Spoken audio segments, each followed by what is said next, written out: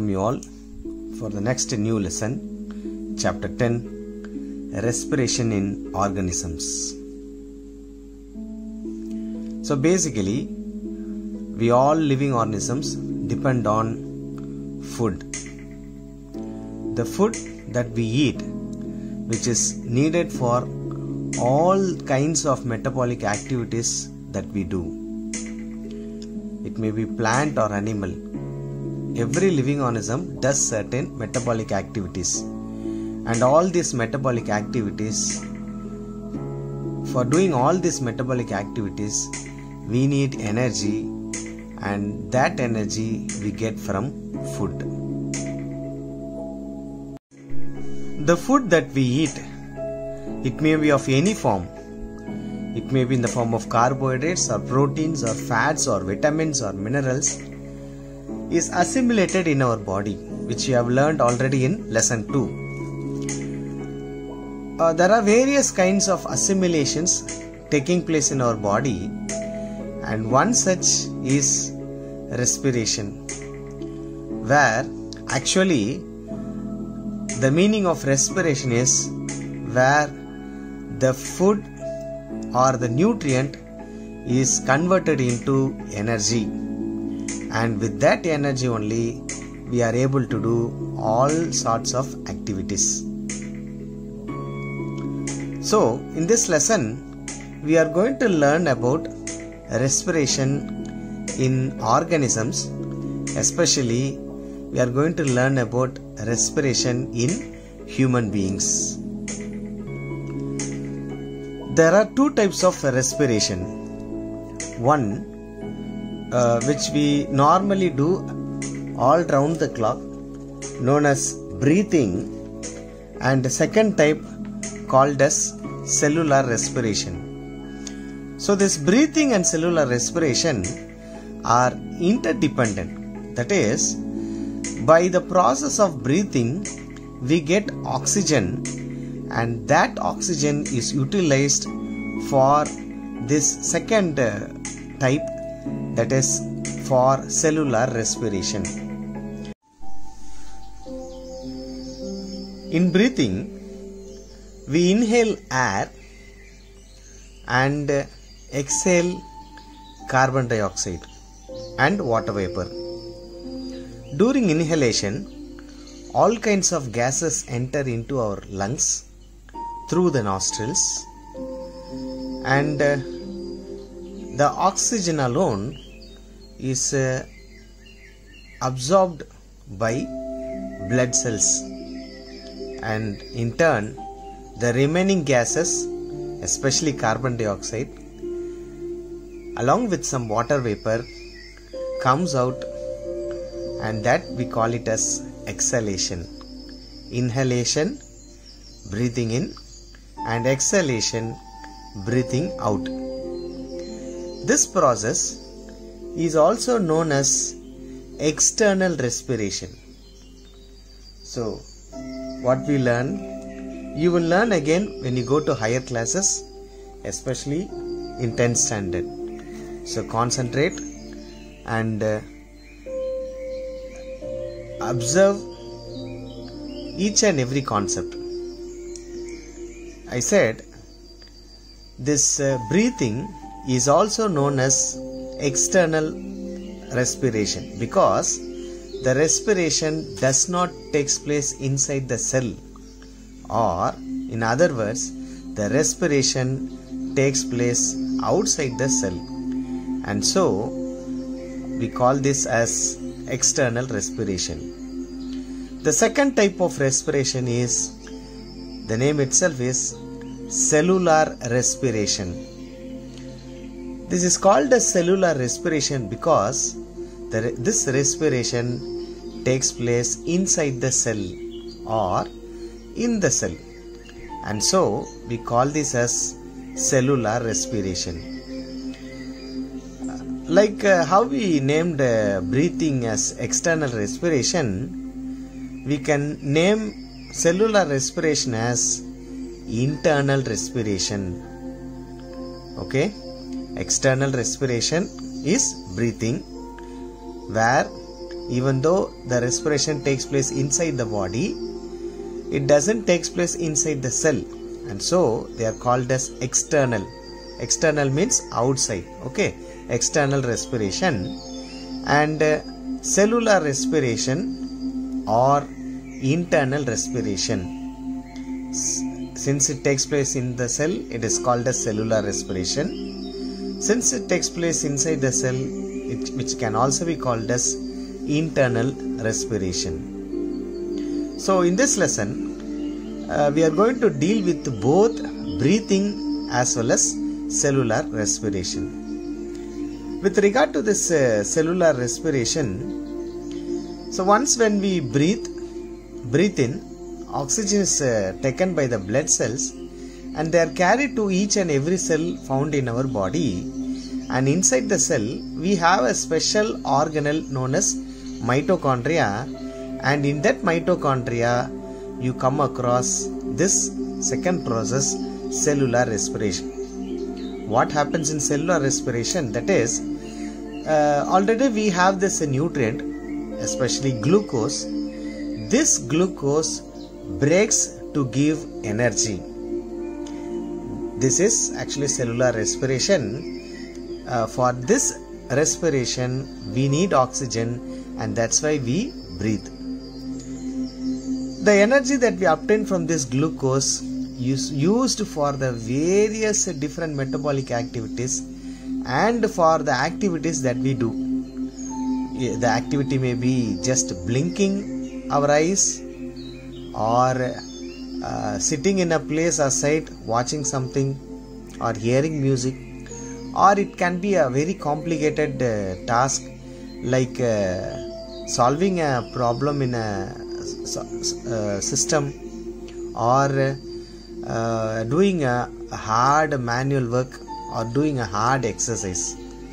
So all this apart from that when we are sleeping inside our body we come across the functioning of lungs heart kidney spleen brain etc and all those for all these activities starting from the beginning till the end whatever all i said for all these activities we need energy and that energy is obtained from uh, cellular respiration. Actually breathing by breathing we get oxygen and that oxygen is utilized for the production of energy in cellular respiration. Next let us learn the two types of cellular respiration.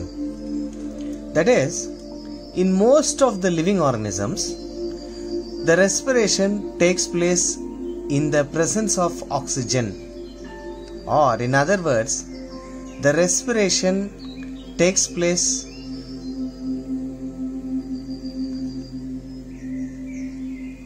only with the help of oxygen.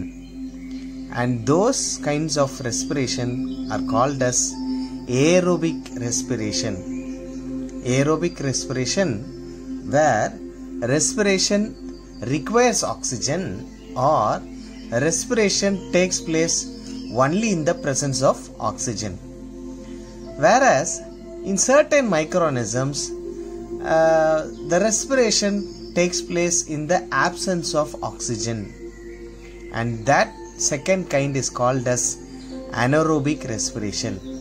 Aerobic respiration which takes place in the presence of oxygen and anaerobic respiration that takes place in the absence of oxygen so this anaerobic respiration uh, need not that uh, to be take, taking place only in microorganisms when you come across seed germination under the soil that also provides anaerobic condition. And in that case uh, till the seed germinates the seed respires anaerobically. That is in the absence of oxygen. Similarly some cases in our muscles we come across this anaerobic respiration when there is lack of oxygen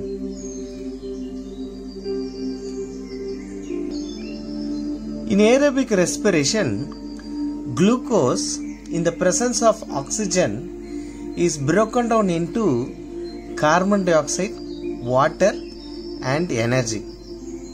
The energy that is formed or produced is usually or mostly in the form of ATP that is adenosine triphosphate. So this ATP is the richest source of energy.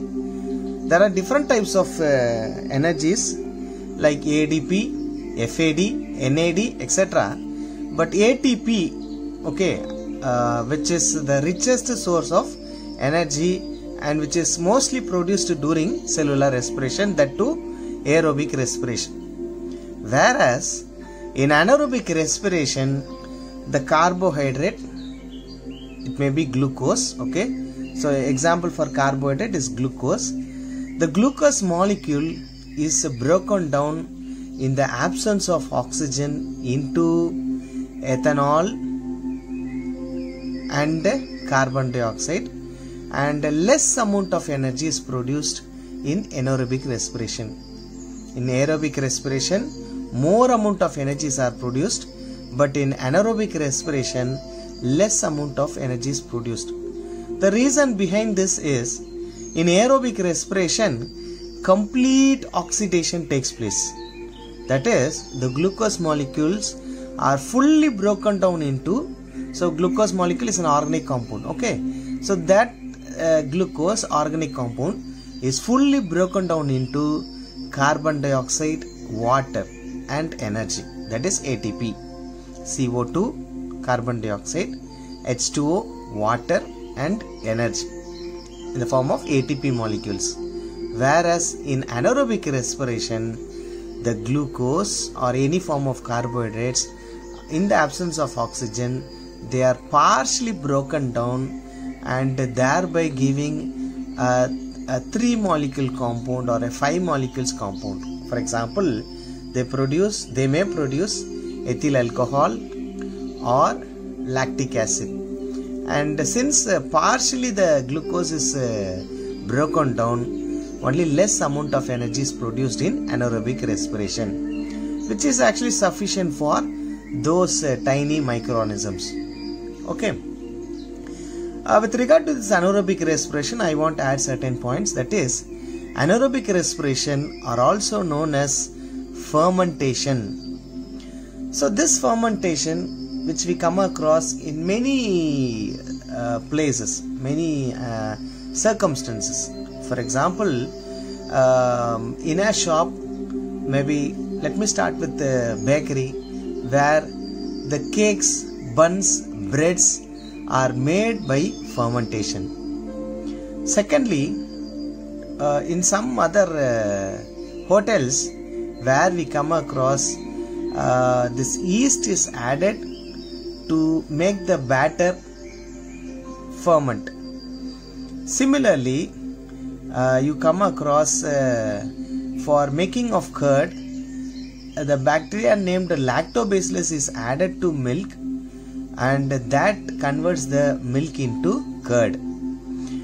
And thirdly finally even at our own home where we come across our mother without uh, your knowledge uh, inoculating uh, certain bacteria found in her hand in the batter. It i mean uh, none other than idli or dosa batter and uh, which is not uh, a harmful process but uh, all these cases where fermentation helps in making the batter soft and um, delicious to some extent for the persons who consume. With regard to this uh, bakeries you come across these cakes buns breads which are very soft and you also come across holes in these uh, uh, cakes buns uh, breads. The reason for this is fermentation. That is during fermentation carbon dioxide and alcohols are produced where alcohol gives the softness to the uh, those uh, uh, bakery items and the carbon dioxide escapes from the batter when it is baked. And that causes the or the reason for the holes found in the cakes uh, breads buns etc so which means in our home in dosa or idli you come across holes. And that uh, holes is also due to fermentation. So whenever when mama uh, grinds uh, this uh, rice and other uh, constituents for the batter after finishing her work she uh, applies the salt into that batter mixes that with her own hand. And during that process certain bacteria found in her hand it mixes with the batter and starts the fermentation process.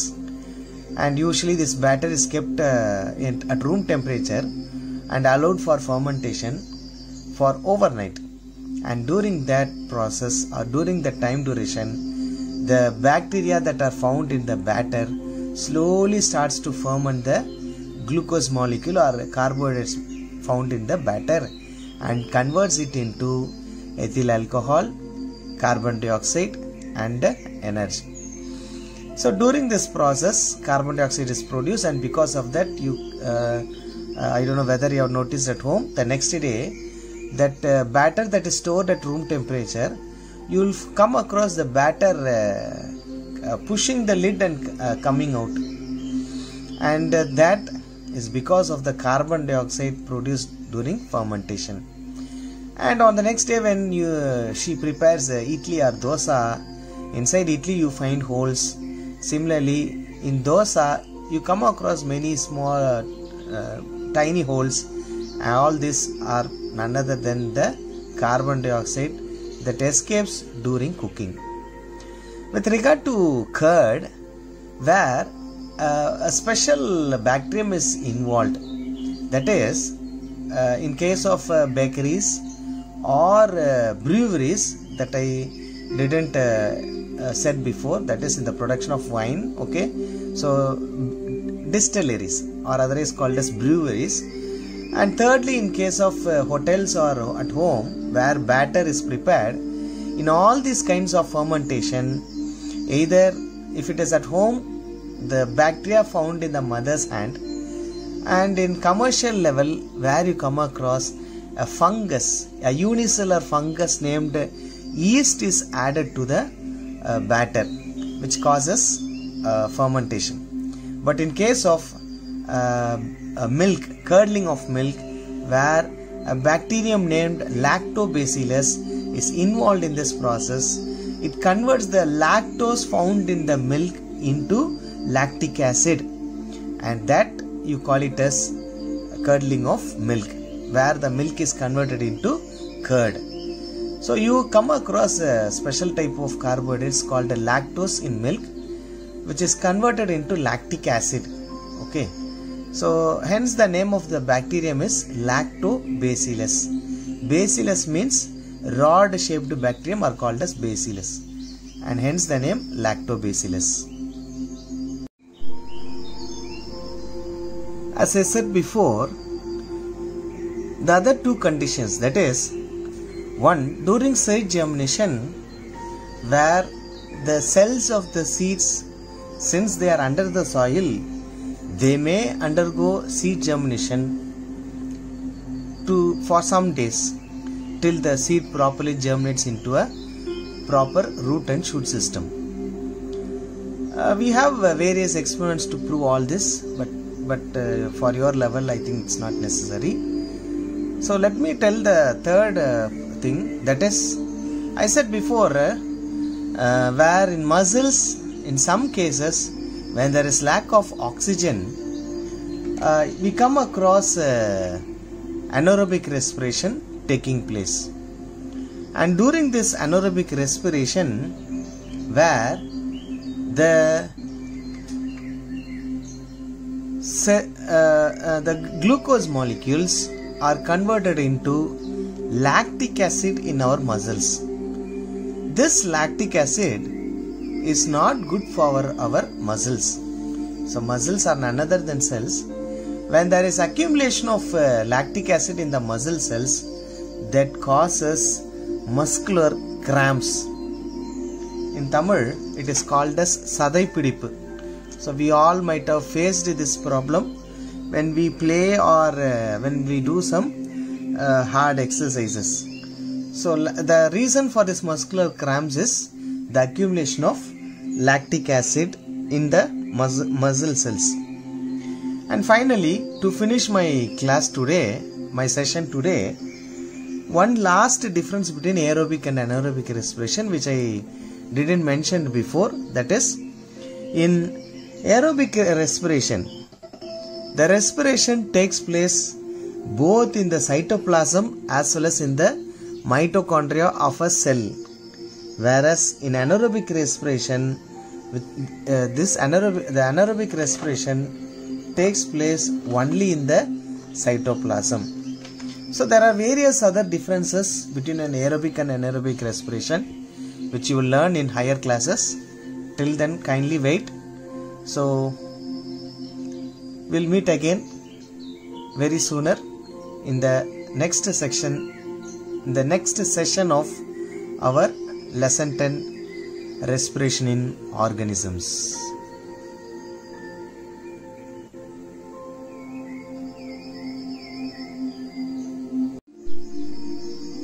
Be safe at home.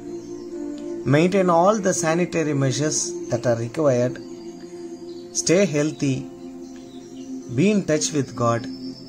God bless you all the best